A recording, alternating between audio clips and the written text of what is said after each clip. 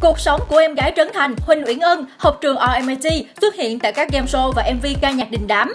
Huỳnh Uyển Ân là em gái út của MC Trấn Thành, cô sinh năm 1999, sở hữu ngoại hình ưa nhìn với chiều cao 1m68 khá lý tưởng. Giống với anh trai của mình, Uyển Ân cũng có niềm đam mê đối với các hoạt động nghệ thuật. Cô từng có ý định thi tuyển và học tại trường sân khấu điện ảnh thành phố Hồ Chí Minh. Tuy nhiên sau đó lại không tiếp tục dự định này mà chuyển sang trường quốc tế RMIT để bổ sung kiến thức cần thiết cho mình. Thời còn ngồi trên ghế nhà trường, Uyển Ân đã được cư dân mạng biết đến khi thường xuyên đi du lịch, xuất hiện cùng với vợ chồng Trấn Thành Harry Won. Năm 2019, Uyển Ân bắt đầu hoạt động sôi nổi hơn và được anh trai tạo điều kiện tham gia cho các hoạt động nghệ thuật, đặc biệt là trau dồi khả năng diễn xuất. Nổi bật nhất chính là lần cô tham gia web drama Bố già của Trấn Thành. Ngoài ra, một số dự án như Phượng Khấu, Oppa Phiền Quá Nha, Giữa những tầng mây vân vân cũng có sự góp mặt của cô.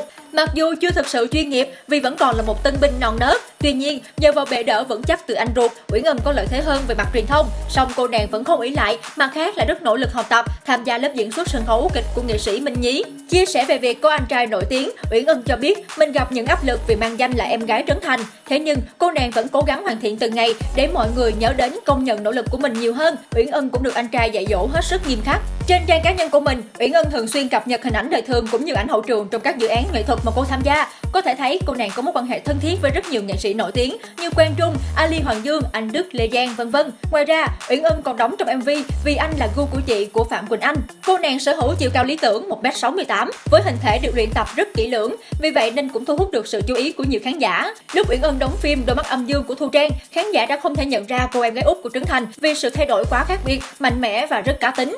Nếu như Uyển Ân theo đuổi dạng vai ngầu đời như thế này thì người hâm mộ nhận xét là sẽ ăn đứt các kiểu vai tiểu thư. Ít ai biết được rằng Uyển Ân từng mẫm mỉm dễ thương hồi mới xuất hiện, nhưng rồi cô nàng muốn mình phải đẹp hơn nên quyết tâm tập luyện, ăn uống healthy.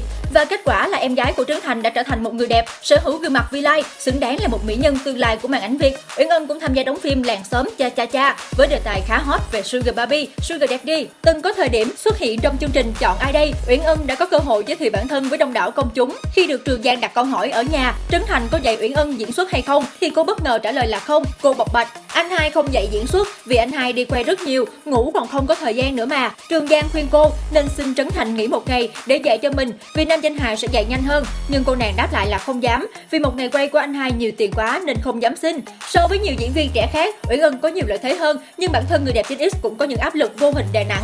Hiện tại, sự nghiệp còn chưa tỏa sáng nhiều, song bản thân em gái Trấn Thành vẫn luôn cố gắng. Nếu các bạn là người đang rất đam mê phim ảnh và cần một nơi để cập nhật tin tức mỗi ngày, thì điện ảnh.net là nơi dành cho bạn.